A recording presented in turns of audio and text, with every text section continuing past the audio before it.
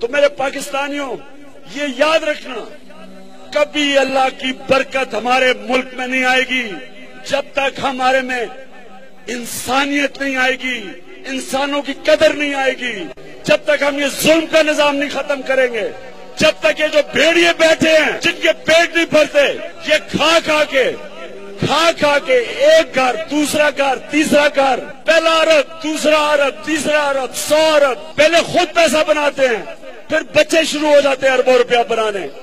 جب تک میرے پاکستانیوں، آپ ان کے خلاف کھڑے نہیں ہوں گے۔ جب تک آپ ظلم کا مقابلہ نہیں کریں گے۔ قرآن کی آیت ہے کہ بڑی قومیں میں نے برباد کی جو میرے حکم پہ نہیں چلی تو پاکستانیوں یہ آپ کے لیے اللہ نے موقع دیا ہے۔ اللہ نے آپ کو موقع دیا اپنی تقدیر بدلنے کا۔ میں اللہ سے دعا بھی کرتا ہوں اور میں آپ کو بھی کہتا ہوں کہ اللہ، میری قوم میں وہ شعور پیدا کر کہ اس موقع کو وہ جانے نہ دے اور اپنی زندگیاں اپنے بچوں کا مستقبل بدلے تاکہ یہ وہ پاکستان بنے۔ جس کی علامہ اقبال نے ایک دفعہ خواب دیکھی تھی۔ یہ ایک نظریے پہ قوم بنی تھی۔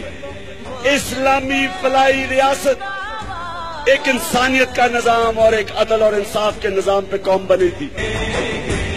جو لوہے عدل پہ لکھا ہے ہم دیکھیں گے۔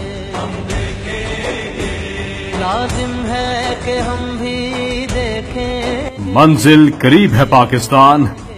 اب صرف عمران خان بلے پہ نشان